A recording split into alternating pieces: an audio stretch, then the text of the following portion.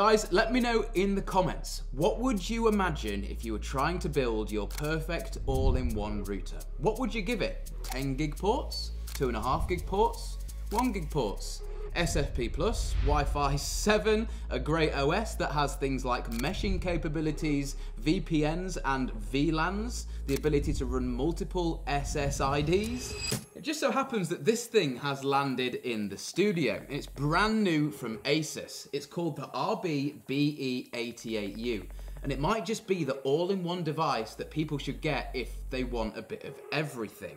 Now, before I go ahead and deploy this thing in the studio, I want to talk quickly about its design because, let's face it, you've got to look at it. The general device itself is quite nice, with a matte black finish and subtle gold accents on both the logo, through the ventilation, and on the antennas which I think would be my only nitpick with this device overall, the fact that it has external antennas. I wish Asus could figure out a way to build these things within the body, but we'll test that Wi-Fi 7 later in the video. Running things on the inside, we've got a quad-core 2.6 GHz CPU, and I think that's needed to handle everything that's on the back of this device. What's on the back, you might be asking?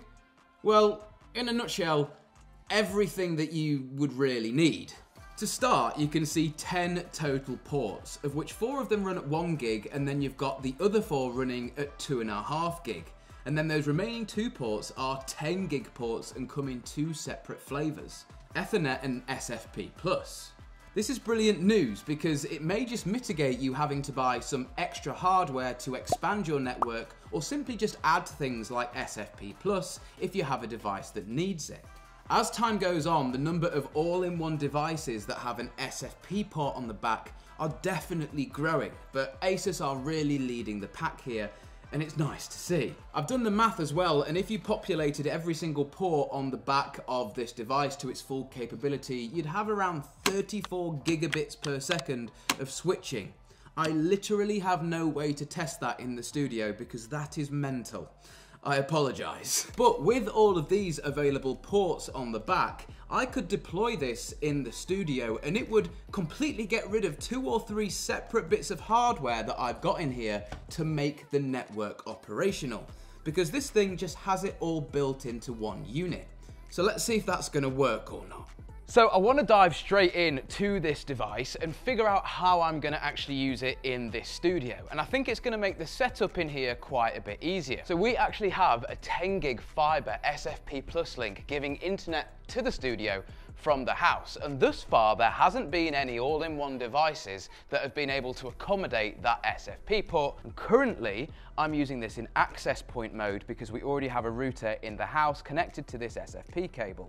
But talking about an overpowered router as far as ports are concerned, most come with four. This has 10.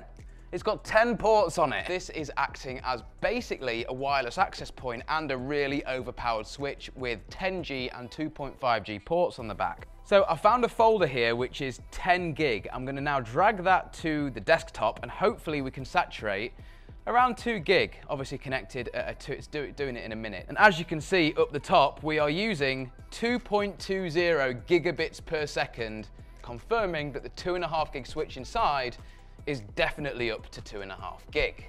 So in our use case, with this device set up in access point mode, getting its internet connection over the SFP Plus port and interfacing with two devices, our NAS and this MacBook with 2.5 gig, it works fine. But realistically here, we are only scratching the surface because this thing also has a wireless access point in it, which basically renders the Wi-Fi 6 access point that we've got in the office useless just don't need it anymore because this thing gives out Wi-Fi 7.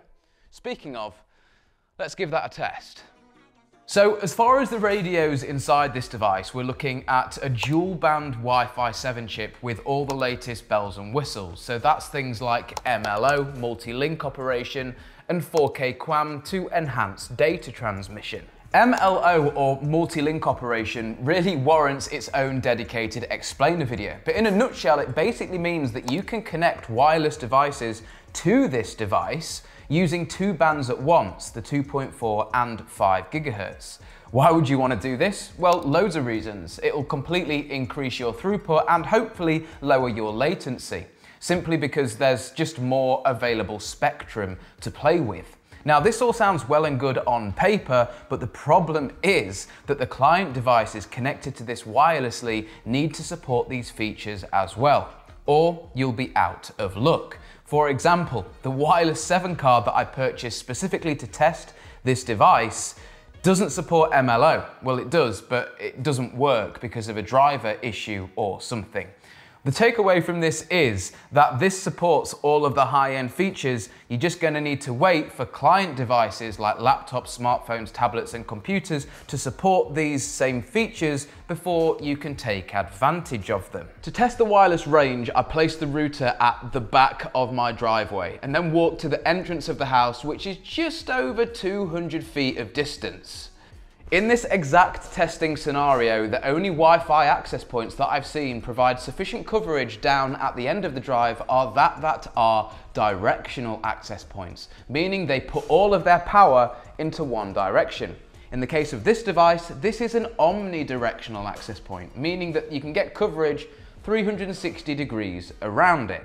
I was testing over 400 meg at 5 gigahertz on Wi-Fi 7 down at the end of the driveway. That is absolutely mental. So all that's to say, the Wi-Fi access point in this device, as tested, will provide you with a strong long-range wireless coverage with all the latest bells and whistles in both the 2.4 and 5 gigahertz bands. But I can already hear what you're typing.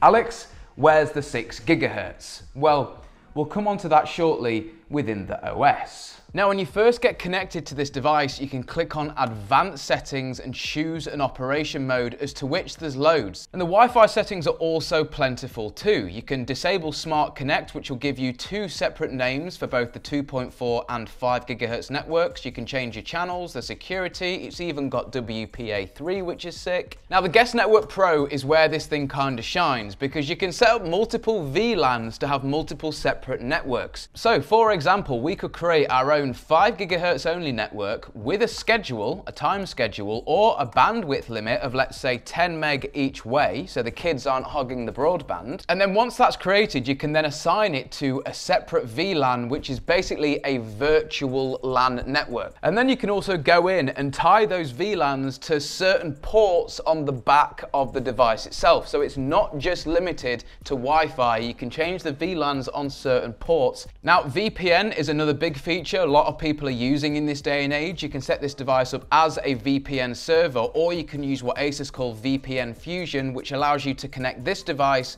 to a separate VPN server, and you can go ahead and add loads of types here, my favorite being WireGuard.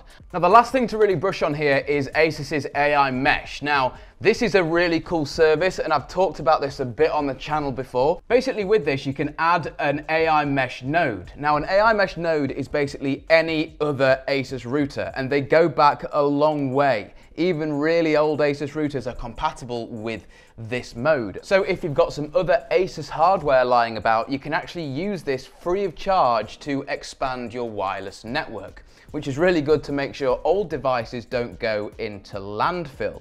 But remember earlier I said this device doesn't support 6 gigahertz? You could actually get yourself a 6 gigahertz access point from Asus and connect it to this router with the AI mesh and then you're still using this router with all its really powerful features and you've got yourself a 6 gigahertz radio to take advantage of.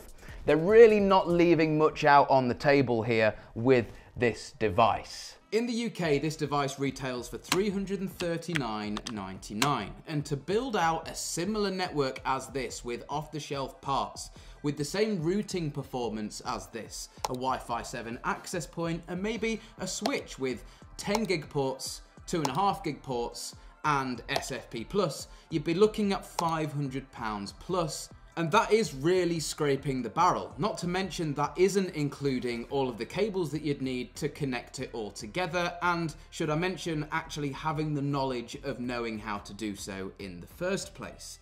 And just for some context, our enterprise 2.5 gig switch that's lived in the office for the last two years costs £450 on its own, which is mental. Now, I mentioned the antennas at the start of the video, but it kind of goes without saying. Having all of this equipment built into one device could be far cleaner than buying all of these separate devices separately and connecting them all together with an absolute beehive of cables. So, with the price in mind and the extra simplicity that comes with buying a really powerful all in one like this, not to mention the extra features like the AI mesh and the VPNs and the multiple VLANs, I really think this thing should be on your radar if you're looking to upgrade your router in 2024. Because, in all honesty, there really isn't much that this thing can't do. Anyway, my name's been Alex, this has been TechFlow and I'll see you in the next one. Peace.